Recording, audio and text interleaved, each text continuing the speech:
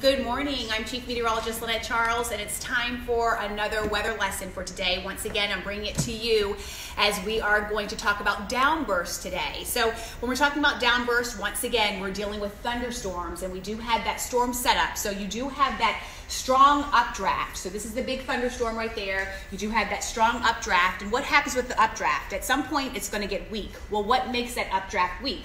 The colder air builds in the middle of the storm as you have heavy rain and you do have that hail. So that's what's going to start to weaken it. So where is everything going to go from there, right? It's got to go back down. So with that, you have that downburst. You have that strong surge of air from the storm.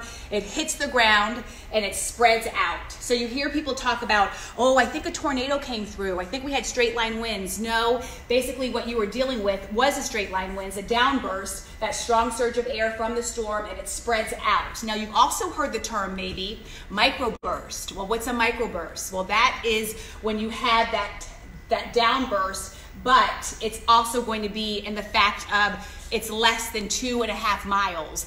But you travel on a plane, right?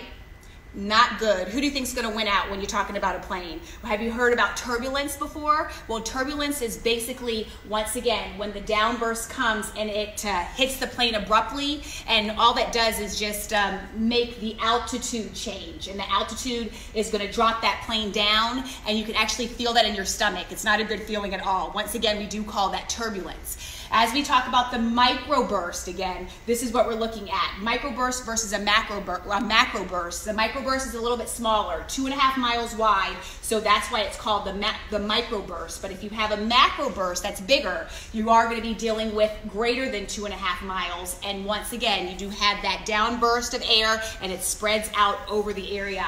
And it is rough, it can cause a lot of damage. And that's why a lot of people think that, oh, we had a tornado. But no, we talked about tornadoes. Tornadoes are much different than a microburst or a macroburst. Well, that's the lesson with Chief Meteorologist Lynette Charles. We'll have another lesson tomorrow with Eric and Patrick, and I'll be back again on Monday. Have a great day, everyone. I hope you learned something.